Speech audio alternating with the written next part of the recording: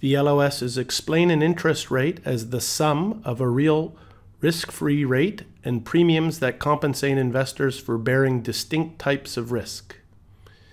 Okay, so an interest rate can be looked at as the real risk-free interest rate plus an inflation premium. If I'm going to tie up my money for some uh, period of time and get it back in the future, there may be inflation. So I'm, i may need to add an inflation premium to the interest rate plus a default risk premium. If there's some chance that in the future I don't get my money back, well, that's a default risk premium. Liquidity premium, if there's some chance that I can't sell my investment or get out of, uh, you know, my money's tied up and I, there's no liquidity, then there'd be a type of liquidity premium. We see that sometimes with hedge funds. Plus a maturity premium, again, if my uh, the longer that I go out, uh, further in time, um, more risk for inflation, etc.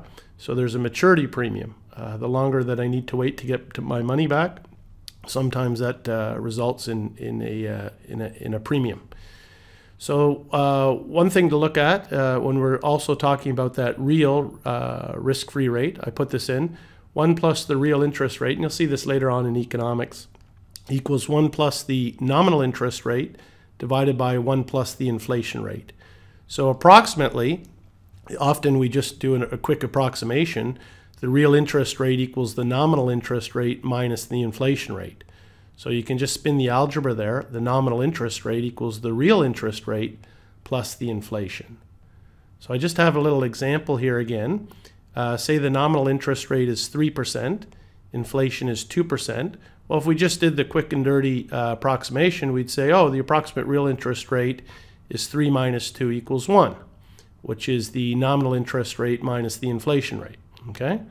But if we do the formula properly, as per the CFA, 1 plus the real interest rate equals 1 plus the nominal over 1 plus the inflation rate, we see 1 plus real equals 1.03 divided by 102.